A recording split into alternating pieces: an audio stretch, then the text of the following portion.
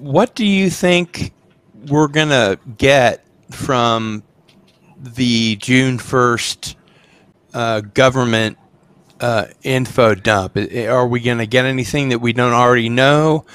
Do we know as much as they know? Uh, what What do you expect to happen? Uh, much ado about nothing. I think they're going to release a bunch of stuff that's just been hanging around that doesn't really need to be classified.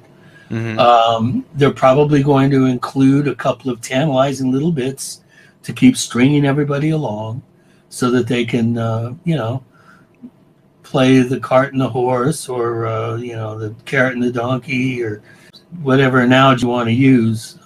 It's all about control. Governments are about control.